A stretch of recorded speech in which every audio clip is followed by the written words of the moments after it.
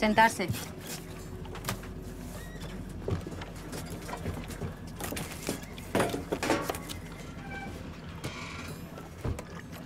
Llevo dos noches hablando con mi difunta madre. Y me ha dicho que ha visto a las niñas en el cortijo Las Lunas.